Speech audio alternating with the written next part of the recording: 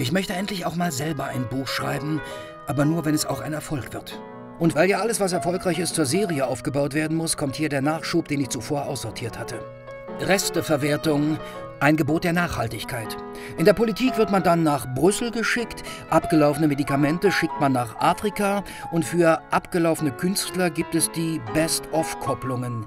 Hier sind meine B-Promis. Stichwort Wortstich. Die gemeinsten Theaterkritiken des Jahres. Keine Landeerlaubnis für WC2, Lanzer Schundheft.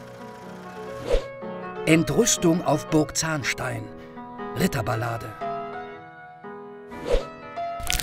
Tupfer Schwester Esther, Krankenhauskomödie.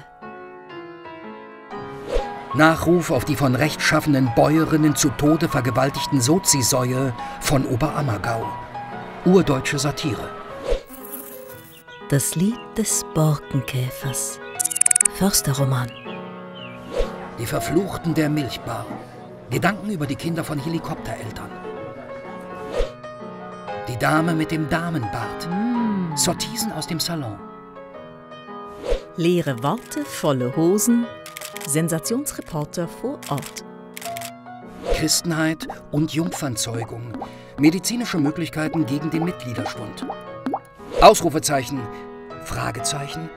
Ausrufezeichen. Zeitgeistanalyse. Männer, Memmen und Mätressen. Gesellschaftsroman der Belle Epoque. Ach, weißt du noch? Plaudereien im Seniorenheim mit Grabi Kirchhoff.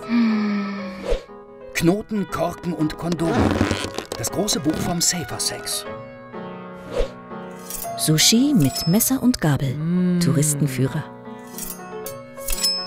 Nenn mich noch einmal Johnny. Eine Feministin bekennt sich schuldig. Trifft ein Judenkrüppel eine Negertunte.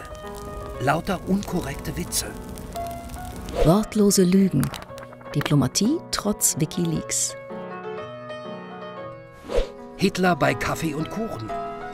Entdämonisierung von Volkslieblingen. Captain, die Ratten fliehen. Unterwegs mit dem Traumschiff.